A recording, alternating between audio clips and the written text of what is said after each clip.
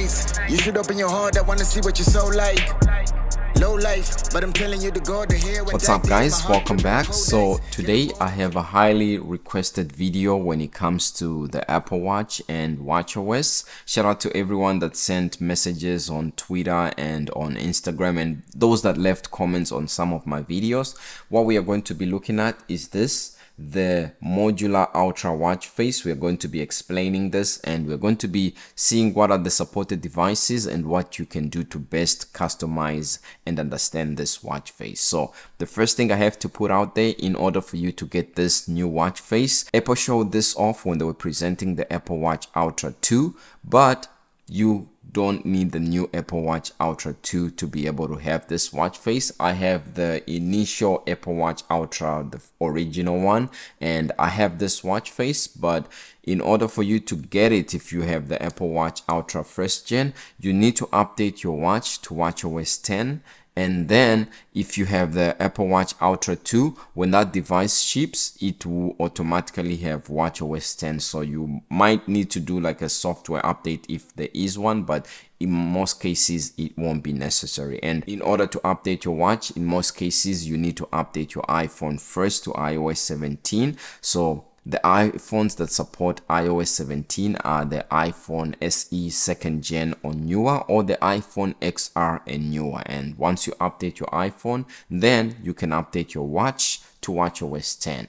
On this watch, if you want to find it, you can click on your Apple Watch and then if you go all the way to the end and click add new watch face, you see that this is the center of all the new watch faces that are here on watchOS 10 and if you click here you can see it's the top one and then you can add it there and then be able to customize it. I don't think this is available for the apple watch series 9 since it's um, modular ultra meant for the apple watch ultra and utilizes the around the bezels since this apple watch ultra has a bigger display. Now to customize it and best understand this, we want to press and hold this. And then if we go to where it says edit, we have a number of things that we can edit. And the first thing that we can edit right here is the bezel. Now, the bezels allows us to be able to show three things. The first one, you can see it here. It allows us to see seconds. So all these is what I have. These are all seconds. You can see it's updating in real time. And by the time it makes a complete revolution or does a 360, that will be counting up to 60 seconds right there and then it begins again. So that is the seconds. You can have it as seconds and then if you go up again you can see here if you don't want to to have the bezels with uh, information you can just put none and your watch face will basically look like this. Now if you go again and edit this you can see seconds we saw that but now you can see here we can add depth and if you know the Apple Watch Ultra, you definitely know that the Apple Watch Ultra has a depth reading that can go up to 40 meters or 130 feet. So if you look on this right hand side, you can see there's an M to depict meters and you can see it goes down all the way to 40 meters and if you want to know the subsequent or the associated feet then you can see the feet are there and it goes all the way down to 130 feet. So this is a dive computer and when you submerge your watch into the water and start to go down then it will start to show you how deep you are. So that's something that's good. And then if we go again to the edit and you can see here we have elevation and the apple watch ultra right here. You can see this is my current elevation. It's showing it to in meters and also showing it in feet. Now the newly announced apple watch ultra 2 has an altimeter reading that's a little bit advanced than this. And this can go all the way from negative 500 meters below sea level to all the way to plus 9,000 meters to above sea level to be able to see the tallest peaks or the tallest mountain. That's good. If we go and edit the second thing on our Apple Watch, you can see that is the style. Now, the styles that are here are all digital and they have to do with how you change or view the time. You can see we have hours and minute one and then we have hours minutes and second one. And we have hours minutes 2 we have hours minutes second 3 and then if you go down we have hours and minutes. That's style number three. And then we have hours minutes and second style number three. So you can see it here. And depending on what you set this is how your apple watch is going to look and also the style that you choose is going to affect how many complications you are going to have or be able to put on your screen so for example i'll edit this and then i'll choose this hours, minutes, and seconds that has the rest of the information so that my watch is not as plain. This looks good. And then also if we go to edit the next thing you can see it's the night mode. You have auto night mode where your watch automatically detects night mode. And then you see you can keep night mode off and it will have this white screen every day and even in the night.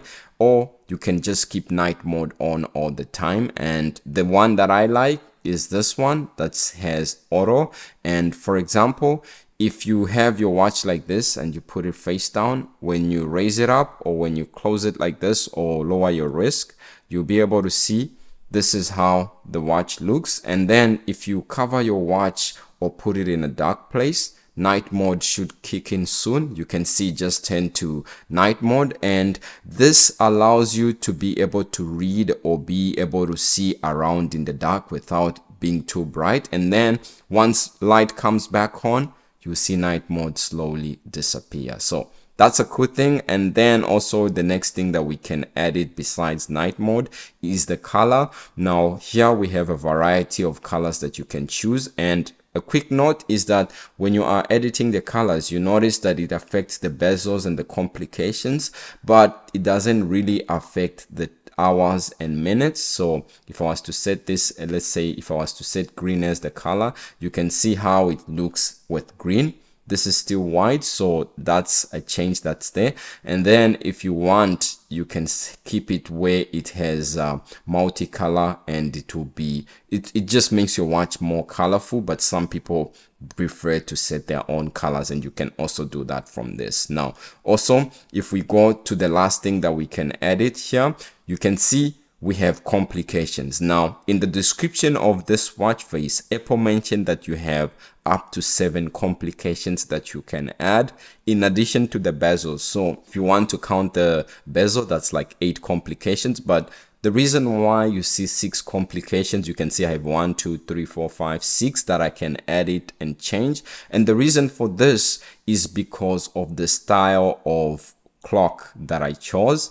And the seventh complication can be added when you choose a smaller watch style. So for example, if we put a shorter style like this one that doesn't take the whole middle section, then if we go to edit and go back to complications, you can see we now have seven complications as Apple has mentioned. So one, two, three, four, five six seven and this middle one too you can change it to the style that you want. If you want to edit this watch face on your iphone you can also do that. If you go into your watch face and go to the watch face gallery you notice it's the first one on the new watch page page right there. And right here if you want to edit it on your apple watch you can see the same edits that we have here. You can make them and you can be able to add them to your watch. I'll just increase my brightness a little bit. Night mode also you can choose between auto on and off. And then you can see here you have one seven complications that you can add to your apple watch. And also here if you do choose the style of clock that takes the whole middle point then you won't be able to add the seventh complication. So this is how it looks. And the description basically i went through it. I tested it thoroughly let me know what you think about this new watch face it's a good thing that apple didn't limit it to the new apple watch ultra 2 but also the old Apple Watch Ultra that I have here still gets it. And yeah, it's the coolest watch face so far for the Apple Watch Ultra. And it comes in addition to the Wayfinder watch face that we got when the Apple Watch Ultra was initially announced. So that's about it for me. Hopefully you found this video informative in a way. If you did, hit like and subscribe and I'll see you with the next watch face that I'm thinking of explaining. Peace. I come to paralyze the leader red. Rumors antagonize the dinner dates. Some devastation from the paper pen. I make the papa leader red. I only meditate some kill it. Vanilla don't spill the conscience, steal the kids. Once was affected, I no longer breathe. I'm wide awake and the atmosphere is solitaire. They sick and tired of wavy, seated like the Navy. We don't like to try to display conversation, flipping on the Bible page.